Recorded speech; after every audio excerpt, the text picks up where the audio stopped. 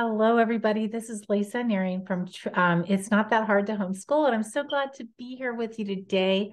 I want to share a curriculum review, and this curriculum review is of Seven Sisters' new high school health for the whole person. Um, I'm really excited about this, and I'll, I'll tell you more about why as we go. But it's a great curriculum, and I think it's going to be really a well received curriculum in the homeschool market because it does do health from the perspective of the whole person. It's a really well laid out curriculum.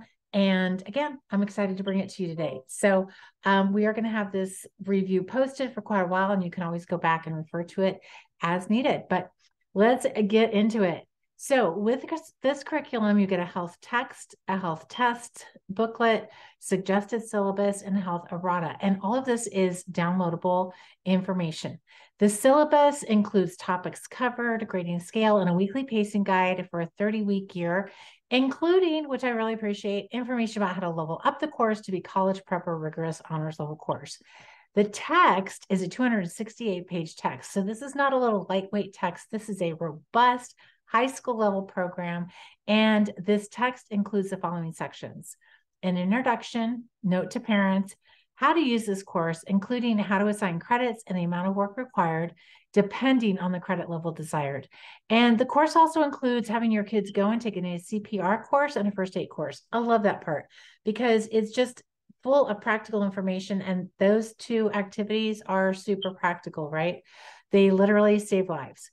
Students are expected to read the text, complete the study guide, take tests, and do a variety of assignments that include reading, studying, and then various other activities. The text itself is divided into two parts. You have your physical health and then your mental health. Um, and it's clearly divided into two parts, um, and they have different chapter designations in the whole bit. So, part one, there's 21 chapters, and it includes all major body systems, with the following chapter on disorders of the system previously studied. So it's a really nice overview of the major body systems and a perfect science course for those who don't go as in-depth as a full credit anatomy and physiology course might. But it's a great um, course to go along with biology. You could take it before biology or after biology. If you want another science class without going into an advanced science, this is a perfect fit for that. So 21 chapters on major body systems and um, their dysfunctions. And then part two is nine chapters. So 30 chapters in all. The second part is on emotional mental health, beginning with the brain, covering social and emotional issues such as self care, safety and relationship issues, and then addictions and tobacco, drug, and alcohol um, usage, etc. Okay, so Seven Sisters does provide curriculum that's secular or neutral. This curriculum is written from a Christian point of view, but it's not heavy or pedantic in any way. This curriculum is honestly perfect for anybody who wants to, um, to take health. Um, it's a very pragmatic and realistic view around sensitive topics, honestly, such as the reproductive health and disorders and social issues like social safety and healthy relationships. Again, it's really tastefully done. And it provides an excellent jumping off point for parents to have deep and meaningful relationships and conversations with their kids about issues that they're probably already wondering about or honestly have heard on the news. So, big things like school shootings and pornography. Honestly, people, you need to have these conversations with your kids while they're in their home. Um, recognize that they've probably been confronted with these issues anyway, and having a curriculum introduce it can take some of that awkwardness out of it. So instead of saying, hey, we need to go have an awkward conversation now, you can just go, okay, this is the health chapter. We need to have this awkward conversation now. And it doesn't make it seem so awkward and out of place. Um, every chapter, every chapter is really manageable. Um, there's text included, but honestly, it's very easy to get the, te- the text read full color diagrams and models of the systems being covered with descriptive text. So again, I thought the text was really manageable. Um, if you're a fast reader, you could read it in one sitting, or you could, you know, there's, and again, the pacing guide is really great. Um, I don't know if I mentioned that at the beginning, but in the syllabus, there is a pacing guide. I love that part because so many of us as homeschoolers, we get a curriculum and we're like, okay, we have this thing to get done in this many weeks. Now, how do we break it down? Seven Sisters does the pacing for you. Um, you can get this done in 30 weeks. And then if you want to go faster or slower, it's easy to divide it up or speed it up from the pacing guide provided. So um, you do the text, you read the text, you have these beautiful diagrams.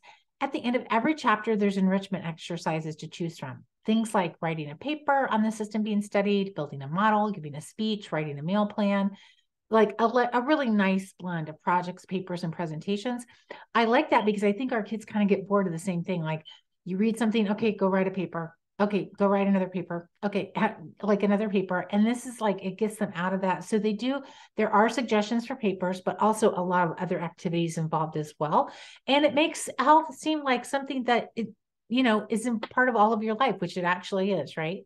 So at the end of every section, um, uh, every chapter, you do have this um, nice uh, um, enrichment activities to choose from.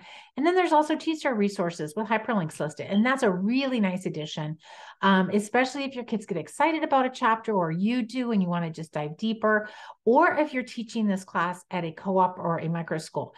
This would be perfect for either. Um, it would be super easy for a teacher to pick this up and teach it to a group of kids. And it would be great for a co op, honestly. Um, then there's a study guide um, at the end of every chapter with five to 10 short answer questions. And I like that because it's a nice little wrap up of the chapter. Like there's a lot of information packed into those chapters, even though it's not like pages and pages of text. So having that study guide at the end of every chapter is just a good wrap up and reminder of, okay, we went over this, right? And it gets the kids ready for the test. So um, I just want to, for those of you who are concerned about how the reproductive um, chapters are handled, very tastefully. They're handled from a really um, pragmatic perspective. Like we all have reproductive organs, right? Um, but here's how to take care of yourself and respect yourself as well as respect others. And what is sex intended for? I love how they've handled everything. There's not a lot of deep explanation. They leave that up to the parent and they just handle it from a pragmatic point of view. The, um, the enrichment activities for the mental health section are super robust and really creative. I like this one, create a self-talk audit. How many of us can use that? Um, and then keep a praise journal. So really fun activities that your kids might actually utilize the rest of their life. These are skill building activities for them, right? Um, make a meal plan. We all do that. Um, my background, um, some of it is I have a marriage and family therapy degree and honestly, I really appreciated this section on food and mental health disorders because there's always a diagnosis du jour going around, and kids hear a lot of terminology that they really don't know what it means, but they think they do. Like um, for so many years, it was everybody was ADD, and I'm not I'm not taking away from kids who have it at all, but it's just like, okay, that was the diagnosis du jour. And then it was everybody's bipolar. But this study gives a good overview with definitions and information that is age appropriate to your kids so that they can go, well, what is bipolar? That's actually a really serious illness and something that we shouldn't just like joke about or assign to everybody, right? So th- it's not overwhelming, but it's really solid and it equips the kids with information and definitions. Like it gives them tools. Um, there's a step by step section about if your friend is in trouble, including getting help. And it positions the parents and adults as trusted advisors to young adults, which I think we need more of that in the world. So I really appreciate the fact that they added that in there. There's some basic information about executive functioning. And don't we all wish our young adults um, came with executive functioning downloaded? Um, but having them think about um, their own need for self regulation is a really good point because then it's not just us saying, okay, you need to monitor yourself or um, get better use of your time. It's a section on there on the health in the health text that they can look at objectively and, and hear somebody else talking to them about it. And again, the, there's a chapter on um, addiction, which does cover pornography as well as drug, alcohol, and tobacco usage. Sensitive topics to be sure, but let me be sure to clarify this for you. Um, I did write an article on pornography a year ago, and look, your kids don't have to go looking for it, it's going to find them. And we need to equip them to fight back for it because it can really devastate their lives. So I appreciate that they included it. Again, it's a sensitive topic, but we need to be having these conversations with our kids.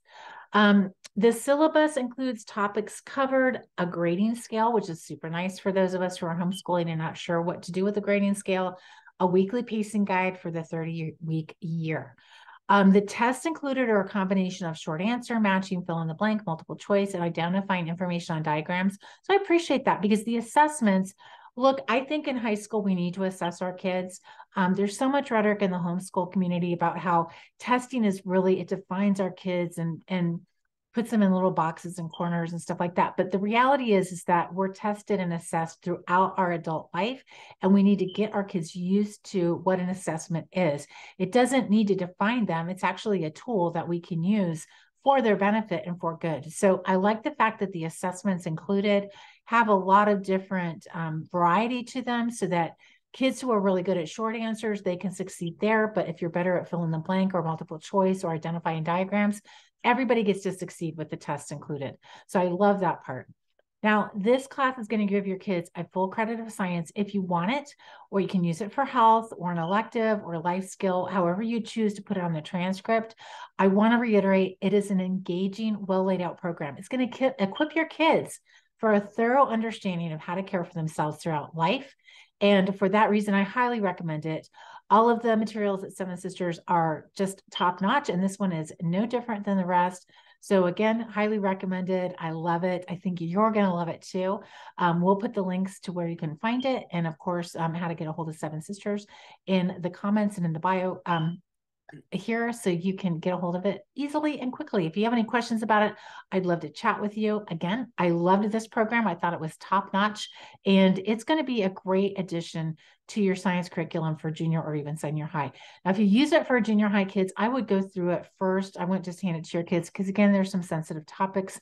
And um, while most of our kids have been exposed to things like school shootings, some of them might not have been and it might be upsetting to them. So this is the kind of program you could even put in your morning basket if you have a if you have a wide range of kids from like age 12 on up it'd be great to do together um, or you could easily do it in a co-op or again in a micro school.